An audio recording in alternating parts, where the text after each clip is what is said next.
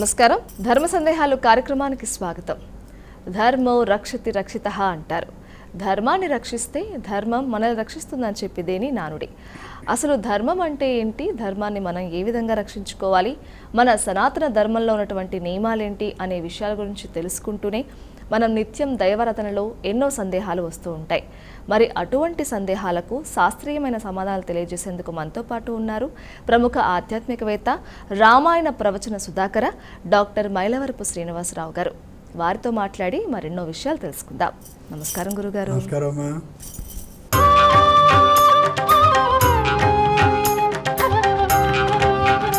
గురుగారు ముందుగా మొదటి ఉత్తరాన్ని చూద్దామండి. రాధిక గారు మహబూబ్ నగర్ నుంచి అడుగుతున్నారు ఈ ప్రశ్నని. ప్రతిరోజు ఇంట్లో దీపారాధనకు పాటించాల్సిన నియమాలు ఏమిటి?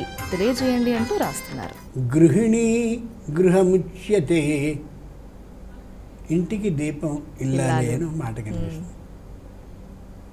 దీపం అనేది ఎలా అయితే ఇంటిని అలా చూపించేందుకు ఉపయోగిస్తుందో అలాగే ఇంటిని చూడాలి అంటే ఇంటి పరిస్థితిని చూడాలంటే ఇంట్లో ఉండే లక్షణాలని సర్దుకున్న తీరుని చూడాలంటే గృహిణిని చూడాలి. ఎక్కడికక్కడ మూటలు మూటలు అలా పెట్టేసి అన్నీ ఇష్టం వచ్చినట్టుగా సర్దడం ఏమాత్రం లేకుండా ఇలాంతా సామాన్లు భద్రపరచు గది అన్నట్టుగా ఉంటే ఆ గృహిణి ఎంత తీరువైందో మనకు అర్థమవుతుంది అలాగే దీపాన్ని ఆ యజమానురాలతో పోల్చారు కాబట్టి నేను చక్కగా ఉండి నా ఇంటిని జాగ్రత్తగా రక్షించుకోవాలనే ఆ అభిప్రాయం ప్రతి స్త్రీకి రావాలి. ఎప్పుడు చూసినా ఇల్లు అలా ముచ్చటగా కళకళలాడుతూ ఉండేలా తాను జాగ్రత్తగా చూసుకోవాలి. అంచేతనే దైవ ఆరాధన మండపం ఏదైతే ఉందో అక్కడ చక్కనైనటువంటి ఒక కుందిని తీసుకుని దాంట్లో నువ్వుల నూనెని మాత్రమే అవకాశం ఉంటే ఆవు నెయ్యి. ఆ స్థాయి భరించడం కష్టం అనుకుంటే నువ్వుల నూనె మాత్రమే తప్ప ఇంకేవో కొబ్బరి నూనె ఆ నూనె ఈ నూనె.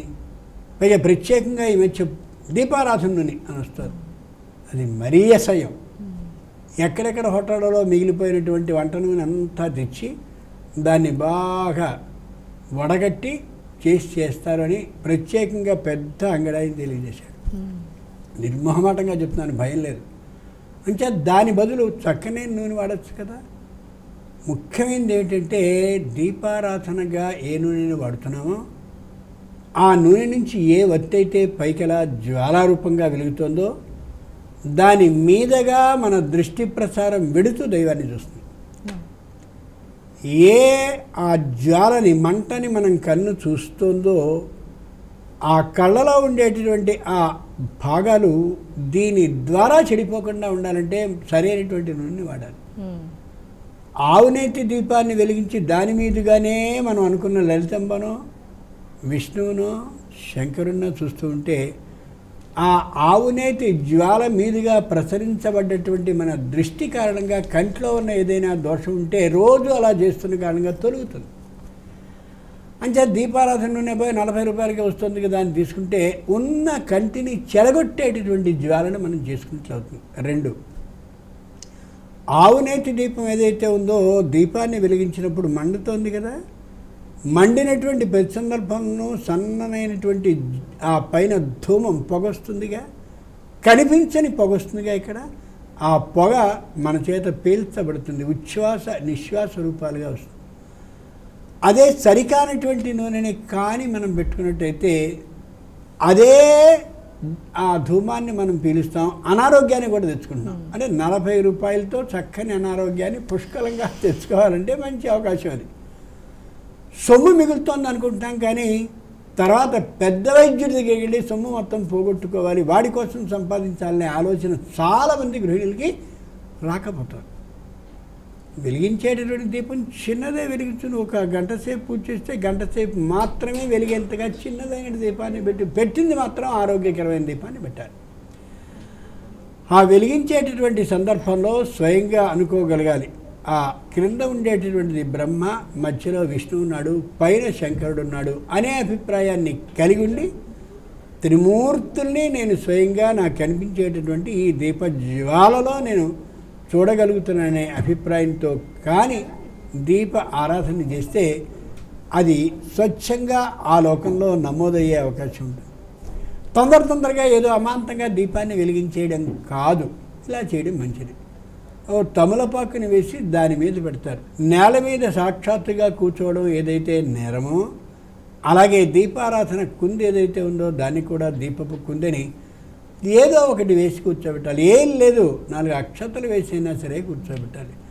దానికి కుంకుమని పసుపుని కుంకుమని పెట్టడం. ఇంచదంటే ఇది శోభనకరమైనటువంటి ద్రవ్యం మంగళకరమైన ద్రవ్యం అనే అభిప్రాయం తెలియజేస్తూ అలా ఉంటుంది. అటువంటి దీపారాధనని చేసిన తర్వాత దేవతలందరూ అర్చి రూపంలో ఉంటారంటే జ్వాలా రూపంలో ఉంటారు. అంచేతనే మనం నీరాజనాన్ని ఇస్తారు ప్రతి దేవాలయంలో. ఆ నీరాజనంలో వనుకున్నటువంటి దైవాన్ని దర్శించు అని దాని అర్థం. ఈ నీరాజనంలో నేను చూడాలనే ఆలోచనతో కానీ మనం ఆ దీపారాధన చేస్తే ఓహో భగవంతుడు జ్వాలారూపంగా ఉంటాడన్నమాట అనే అభిప్రాయం కూడా మనకి కలిగే అవకాశం ఉంటుంది. అలా చేయడం సరైనటువంటి పద్ధతి దీప ఆరాధన విధానంలో. కానీ ఒకటేమిటంటే సూర్యుడు రాకుండానే దీపారాధన చేయాలి. సూర్యుడు అస్తమించకుండానే దీపారాధన చేయాలి.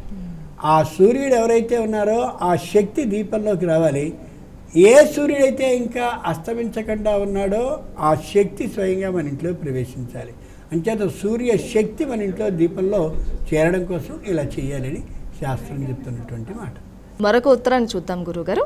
సుమన్ గారు అడుగుతున్నారు ఈ ప్రశ్నని విజయవాడ నుంచి. తడి బట్టలతో ఆలయ సందర్శనం చేయకూడదని అంటారు. ఎందుకు? కొన్ని కొన్ని సందర్భాల్లో మాత్రమే ఆర్ద్ర వస్త్రాన్ని వాడాలని సిద్ధాంతం. ఇళ్ళలో మామూలుగా శ్రాద్ధముని చేస్తారు. శ్రద్ధయా క్రియతే యత్ తత్ శ్రాద్ధం సముదీరితం. శ్రద్ధతో చేయవలసింది ఏదైతే ఉంటుందో దాన్ని శ్రాద్ధము అన్నారు. మరణించినటువంటి వాళ్ళకి ప్రతి నెల మాసికమని చేస్తారు. సంవత్సరం అయినప్పుడు సాంవత్సరికం అంటే సంవత్సరం అయిందని చేస్తారు. సంవత్సరీకం కాదు. ఉమ్, సాంవత్సరికము. అట్లాంటి వాటిలో మాత్రం తడి వస్త్రాన్ని కట్టుకోవాలి. ఏ పొడి వస్త్రం కట్టుకుంటే వంట అవదా? చెడు కుదరదా? పడడం కుదరదా? హేతువాదం కాదు. ఉమ్, ప్రాచీనులు ఏది చేసినా అలౌకిక ప్రయోజనంతో పాటు లౌకిక ప్రయోజనం కూడా ఉంటుందని మొట్టమొదటి మనం అనుకుంటాం. అది శాశ్వతంగా అనుకోవాల్సిన సత్యం. ఏ పదకొండింటికో మొదలుపెట్టి శ్రాద్ధాన్ని చేస్తే మూడు అవుతుంది అయ్యేసరికి కార్యక్రమం అంతా. ఏ స్త్రీ ఇంట్లో ఉండే గృహిణి ఈ కార్యక్రమానికి సహాయపడవలసి ఉంటుందో తన భర్త కార్యక్రమాన్ని చేస్తున్నప్పుడు వ్యక్తి కాబట్టి ఆకలి అయ్యే అవకాశం ఉంటుందిగా? ఉంటుంది. ఆకలిని చంపగలిగినటువంటి ఒకే ఒక్క ఔషధం ఏమిటంటే తడి వస్త్రం. తడి బట్టని కానీ కట్టుకుని పొట్టకి తగిలేలాగా తడి బట్టను కట్టుకుంటే ఆకలి వేయదు. ఎంత గొప్ప ఆలోచన వాళ్ళు చూడు. జీర్ణక్రియ చేసేటటువంటి యంత్రాలన్నీ ఉండే చోట వేడివి కానీ ఉన్నట్టయితే విపరీతంగా ఆకలి వేసే అవకాశం ఉంటుంది. అదే తడి వస్త్రాన్ని కానీ పెట్టుకున్నట్టయితే ఆ చాలనం అంటే కదిలేటటువంటి తీరు ఎక్కువగా ఉండదు కాబట్టి అలా స్తబ్దుగా ఉంటాయి ఆకలి వేసే అవకాశం ఉంటుంది. అంచేత తడి వస్త్రాల్ని కట్టుకోవాలని అక్కడ చెప్పారు. ఆలయంలో తడి వస్త్రాలని మనం గట్టికి వెడితే అలా నీరు కారుతూ ఉంటే ఇలా చెరువు నుంచి అది కూడా సరైనది కాదు. ఏదైనా ఒక వ్యక్తి ధరించినటువంటి వస్త్రం నుంచి నీరు కారుతూ ఉన్నప్పుడు దాని మీద నడవడం కూడా అది సరైనటువంటి పద్ధతి కాదు. వచ్చేటటువంటి భక్తులు నున్నగా ఉన్నటువంటి నేల అయినట్టయితే ఆ తడి నీళ్ళు కనిపించక జారిపడిపోయే ప్రమాదం కూడా ఉంటుంది. ఇది లౌకికమైన మాట. ఇంతటి ఎప్పుడూ ఆర్ద్ర వస్త్రాలతో చేయడం అనేది సరికాదు. మరి కొన్ని దేవాలయాల్లో పొరుగు దండాలని విపరీతంగా తడిచి బట్టలతో చేస్తారు కదా. ఎక్కడి నుండో వచ్చినటువంటి ఆచారం అలా వచ్చేస్తుంది తప్ప పొర్రు దండాల్లో ఏమాత్రము భక్తి ఉండదు ఉండదు ఉండదు. ఆ పొర్రు దండాలకి ఎవరైతే అలా పడుకుంటుందో ఆవిడ మొదటి రెండు సుఖంగా తనకి తానే తిరగలుగుతుంది. అక్కడి నుంచి వెనకాల వాళ్ళు ఇలా తిప్పుతూ తిప్పుతూ ఉంటారు. మోచేతులు మోకాళ్ళు కాళ్ళు దెబ్బతింటూ ఉంటాయి. దేవాలయంలో ఉండేటువంటి ఎత్తుపలాల రాళ్ళు ఏవైతే ఉంటాయో అవి ఖచ్చితంగా దెబ్బలు తగిలేలా చేస్తాయి. ఇంకెంతసేపు ఉంది? ఇంకెన్ని చుట్లు తిరగాలి? అంత శరీరాన్ని హింసింపచేసుకుంటూ ఈ ప్రదక్షిణ చేయాలా? భగవంతుని హృదయంలో నిలుపుకుని అలా ప్రదక్షిణ చేస్తే చాలు. ఆత్మ ప్రదక్షిణ నమస్కారం అని మనకు సిద్ధాంతం ఉంది. ఆత్మ ప్రదక్షిణ అని గిర్రని మనం తిరిగేస్తుంటాం మామూలుగా. అది కాదు. ఈ ఆత్మ ఇక్కడ ఉంటుంది కాబట్టి ఈ ఆత్మలో పరమేశ్వరుడు ఉన్నాడని గ్రహించి ఈ కళ్ళని ఈ పరమాత్మ చుట్టూరా ఇలా తిప్పుతున్నట్టుగా భావించి నమస్కరిస్తే అది ఆత్మ ప్రదక్షిణం. నమస్కారం తప్ప మనం గిర్రం తిరిగేయడం మాత్రం కాదు. ఆ తిరిగేటప్పుడు మళ్ళీ భగవంతుడికి నీ వెనక వైపు చూపించకూడదు. ఎలా చూపించకుండా ఉంటాం? అంచేత ఆత్మ ప్రదక్షిణ అంటే ఇది. అలాగే ఇది కూడా. ఏదైతే తడి వస్త్రాలు నువ్వు కట్టుకుని చేస్తావో అది తరువాతి వాళ్ళకి హానికరం నీకు ఇబ్బంది. అంచేత వద్దు. చెయ్య. మరొక ఉత్తరాన్ని చూద్దాం గురువుగారు. పార్వతి గారు అడుగుతున్నారు ఈ ప్రశ్నని. గర్భవతులు అరటిపండు తినకూడదంటారు. నిజమేనా? అభుక్త్వా ఆమలకం పథ్యం భుక్త్వా తు బదరీ ఫలం కపిత్థం సర్వదా పథ్యం కదలీ న కదాచన. ధన్వంతరి మహాశయుడు ఆయుర్వేదంలో రాశాడు ఈ మాటలు. ఎంత గొప్పగా రాస్తారో వాళ్ళు. అభుక్త్వా ఆమలకం పథ్యం. భోజనం చెయ్యకుండా ఉన్నప్పుడు ఆమలకం అంటే ఉసిరికాయ.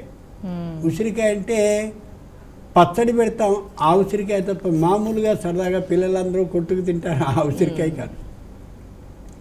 ఏదైతే నోట్లో ఆ ముక్క వేసుకోగానే అమాంతంగా నోరంతా లాలాజలంతో నిండిపోయేలా ఉంటుందో ఏదో ఔషధాన్ని తింటున్నాను అనేటటువంటి ఆలోచన నోరంతా కలిగించి బుద్ధికి ఆ విశేషాన్ని తెలియజేస్తుందో అది అభుక్త్వా భోజనానికి ముందు తినడం చాలా మంచిది ఆరోగ్యానికి. హ్మ్. అంచేతనే కరతల ఆమలక ఉంటుంటారు అబో ఈ విషయం నా కరతల ఆమలకం అండి అంటుంటారు.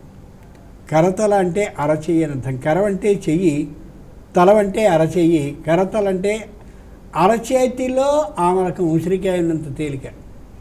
అరచేతిలో కానీ ఉసిరికాయ ఉన్నట్టయితే ముప్పై మూడు వ్యాధుల్ని తొలగించగలిగిన ఔషధ శక్తి ఉంటుంది దానికి ముప్పై మూడు వ్యాధుల్ని తొలగిస్తున్నది.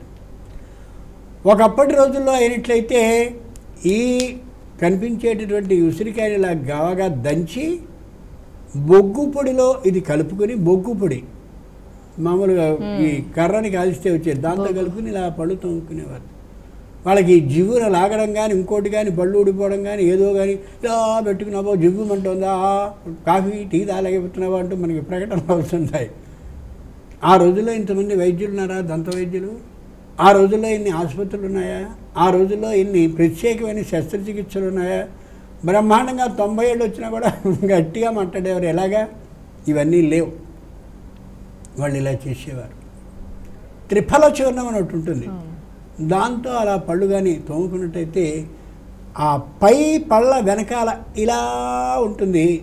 ఆ పూర్తిగా ఇలా ఉండవు పళ్ళు. ఇలా ఉంటుంది. ఆ లోపల ఉండేటటువంటి ఆ వంకరతనాన్ని కూడా శుభ్రంగా తోముకోగలిగిన అవకాశం ఉంటుంది. అంచేత అభుక్త్వా ఆమలకం పథ్యం భుక్త్వా తు బదరీ ఫలం. భోజనం చేసిన తర్వాత రేగి పండును తినమన్నారు. అది అరిగిపోతుంది. కపిత్తం సర్వదా పథ్యం. కపిత్తం అంటే వెలగపండు వెలగలో ఉండే గుజ్జు ఉంటుందే మొత్తం అంతా తినేయడం కాదు. అది కొద్దిగా కానీ తింటూ ఉన్నట్టే కంఠానికి సంబంధించిన వ్యాధులు తొలుగుతాయి. లాలాజలం సరిగా ఊరకపోయినట్లయితే ఉండే లాలాజలాన్ని వృద్ధి చేస్తున్నది అంతేకాక నాలుక యొక్క మందపుతనం ఉంటే దాన్ని తగ్గించగలుగుతుంది కూడా. ఏం రాశారు వాళ్ళు? భోజనానికి ముందు ఉసిరికాయ భోజనం అయ్యాక రేగిపండు ఎప్పుడైనా సరే. ఏ సమయం ఆ సమయం లేకుండా వెరగ. కదలి నా కదాచన అరటిపండు మాత్రం తినదు. ఇదేమిటిది ఏ దేవుడానికి దేవాలయానికి వెళ్ళి అరటిపళ్ళే పట్టుకెళ్తాం ఆయన అదే ఇస్తారు. గమ్మత్తు ఏంటంటే అరటిపండు ఏదైతే ఉందో అది అన్నిటినీ అరిగిస్తుంది తాను అరగదు. అది దానిలోని గొప్పదనం. మొత్తం ఎంత భయంకరమైన భోజనాన్ని బాగా తిన్నప్పటికీ కూడా తిన్న ఆహారాన్ని అంతా అరిగిస్తుంది కానీ తను అరగదు. అంచేతనే అరటిపండు తినగానే బరువుగా అనిపిస్తుంది ఎవరికైనా సరే. అంచేతనే ప్రాచీనులు ఏం చేసేవారంటే పండు పండు ఇచ్చేసేవారు కాదు. పండుని నాలుగైదు ముక్కలు చేసి ఓ ముక్క ఇచ్చేవారు. అది ఔషధ రూపంగా ఇచ్చేవారు. ఈవేళ ఆరు పళ్ళు మనం ఇస్తున్నాం. ఆయన అర్చకుడు మూడు ఇస్తాడా లేదా చూద్దాం అనే ఎదురు చూపే దేవుడి దగ్గర నైవేద్యం పెట్టినంతసేపు ఇదే. ఆయన నాలుగు ఇవ్వడు రెండే ఇచ్చాడు అనుకుంది అబ్బా ఇంకోటి ఇస్తే బాగుండేది. ఏంటిది ఇలాగా? చూసారా ఆలయం అండి. కాదు. దాన్ని ముక్కలు ముక్కలు చేసి చిన్న ముక్క మాత్రమే పెట్టాలి. ఆరోగ్యాన్ని కలిగించడానికి ఆహారాన్ని అరిగించడానికి అంత ఔషధ రూపంగా చేయాలి. అందుకని ఆ రోజుల్లో మహానుభావులు అట్లాంటి నియమాన్ని చేశారు. అరటి పండు మొత్తం తిన్నట్టయితే అమ్మాయికి బరువుతనం పెరుగుతుంది కాబట్టి కొద్దిగా మామూలు స్వీకరించడం నేరం కాదు అని చెప్తే దాన్ని ఇలా ప్రశ్నగా మనం అర్థం చేసుకున్నాం. మరొక ఉత్తరాన్ని చూద్దాం గురుగారు. కళ్యాణి గారు అడుగుతున్నారు ఈ ప్రశ్నని హైదరాబాద్ నుంచి ఈమెయిల్ ద్వారా. ఇంట్లో విగ్రహాలు విరిగినట్లయితే ఏం చేయాలి? తెలియజేయండి అంటూ రాస్తున్నారు. ఇంట్లో మనం వాడేటువంటి విగ్రహాలు ఏవైతే ఉన్నాయో అవన్నీ ప్రాణ ప్రతిష్ఠ చేయబడ్డ విగ్రహాలు కాదు. ఒకవేళ మన తాత ముత్తాతల నుంచి ఏవైనా వచ్చి ఉన్నట్లయితే వాటికి ప్రాణప్రతిష్ఠే కానీ జరిగి ఉండి ఉంటే నిత్యము దైవారాధన అయిన తర్వాత ప్రత్యేకంగా మహానైవేద్యాన్ని ఏర్పాటు చేసి పెట్టాలి మ్మ్. కానీ అలా మహానివేదన చేసేంతటి స్థాయిలో ఉన్న ఆ విగ్రహాలు ఎక్కడో నూటికో కోటికో ఒకటో రెండో ఉంటాయి తప్ప ప్రతి ఇళ్ళలోనూ అట్లాంటివి ఉండవు ఏ దైవ విగ్రహం మన ఇంట్లో భిన్నమై కనిపించిందో తీసేటప్పుడు పడిపోవడమో తోమేటప్పుడు పడిపోవడమో ఏదో ఏదో జరిగి ఏదైనా భిన్నమైతే దాన్ని పారేటటువంటి నీళ్ళలో వేయడం కానీ లేదా దేవాలయంలో ఉండేటటువంటి ఏవో ముఖ్యమైనటువంటి చెట్లు ఉంటాయి బిల్వం రావి ఉసిరి మొదలైన దేవతా వృక్షాలు ఉంటాయో ఆ దేవతా వృక్షాలు మొదట్లో పెట్టినట్టయితే వాళ్ళు ప్రత్యేకమైన కొన్ని రోజుల్లో దేవాలయాన్ని శుభ్రం చేస్తారు. వాటిని తీసి వాళ్ళు పారేటటువంటి నదిలో ఎక్కడో వేసేస్తారు. అలా చేయడం ధర్మం తప్ప ఆ భిన్నమైనటువంటి విగ్రహాన్ని ఇంట్లో ఉంచుకుని పూజ చేయడం అనేది సరికాదు. మళ్ళీ విగ్రహాన్ని మార్చుకోవడమే సరైనటువంటి విధానం కూడా. మరొక ఉత్తరం చూద్దాం గురుగారు. సౌజన్య అడుగుతున్నారు ఈ ప్రశ్నని విజయనగరం నుంచి. మనం ఎవరెవరికి ఏ విధంగా నమస్కరించాలి? తల్లికి నమస్కరించేటప్పుడు పాదాభివందనాన్ని చేయాలి. తండ్రికి నమస్కరించినప్పుడు కూడా పాదాభివందనాన్ని చేయాలి. గురువు అంటే నిత్యము ఆయన దగ్గరికి మనం వెళ్ళినప్పుడు సాష్టాంగాన్ని చేయాలి మ్మ్. శరీరంలో ఉండే ఎనిమిది భాగాలు స్వయంగా నేల మీద వాలి ఆయనకి నమస్కరించాలి మిత్రులు శ్రేయోభిలాషులు అయినటువంటి వాళ్ళు ఎదురుగా కనిపిస్తే వాళ్ళు మనకంటే వయసు పెద్ద అయినటువంటి వాళ్ళు అయితే వాళ్ళు మనకి జీవితంలో కొన్ని కొన్ని సందర్భాల్లో చెప్పవలసిన కొన్ని మంచి మాటల్ని చెప్పిన వాళ్ళు చెప్పగలిగిన వాళ్ళు చెప్తున్నవాడు అయితే మత్తస్త్వముత్కృష్ట త్వత్తోహమపహ అపకృష్ట ఇచ్చాకారక అంజలి రూప ప్రణిపాత. మత్త నాకంటే త్వం ఉత్కృష్ట. నువ్వు గొప్పవాడివి. అంచేతనే నాకు ఏదైనా కావాల్సి వస్తే సలహాలు ఇస్తుంటావు త్వత్త నీకంటే అహం నేను అపకృష్ట. తెలిసిన వాడిని కాదు. అంచేతనే నువ్వు చెప్పేది నాకు బాగా నచ్చి నేను పాటిస్తున్నాను. ఇది ఆకారక అభిప్రాయపూర్వక ఆ అభిప్రాయాన్ని తెలియచేస్తూ అంజలి రూప ప్రతిమాత ఇదిగో అంజలి అంటే ఇది అరచేతిని ఇలా పెట్టాలి దోషుల రూపంలో. ఇలా నమస్కరించాలి. ఇలా నమస్కరించడం అని ఒక విధానం చేస్తుంటాం. ఇలా నమస్కరించడం అనేది ఏదైతే ఉందో అది నిజమైనటువంటి ప్రణిపాతం అంటారు దాన్ని. ఇలా చేయాలి. గురువుకి సాష్టాంగపడాలి తల్లిదండ్రులకి పాదాభివందనం చేయాలి అలా కుడి ఎడమ ఇలా మార్చి చేయాలి ఈ విధంగా చేయాలి. దైవం కనిపించినప్పుడు మాత్రం మానవా మౌళితో దర్శ్యా తే దేవాశ్చరణవస్తత. మనుషుల్ని తల నుంచి పైనుంచి కిందికి చూడాలి తల నుంచి పాదాల వరకు చూడాలి. మానవ మౌలితో దర్శ్యా తే దేవా చరణతస్తత పాదాలని చూడాలి. ఎంత గొప్ప మాట అది. అంచేతనే లక్ష్మణస్వామి శ్రీమద్ రామాయణంలో అంటాడు. ఆ సీతాదేవి ఎవరైతే ఉన్నారో ఆవిడని నేను నూపురాల్లో చూశాను. ఇక్కడుండే వడ్డాణాన్ని చూశాను. అన్నింటినీ చూశాను. ఆమె ముఖాన్ని నేను గుర్తించనే లేకపోతాను.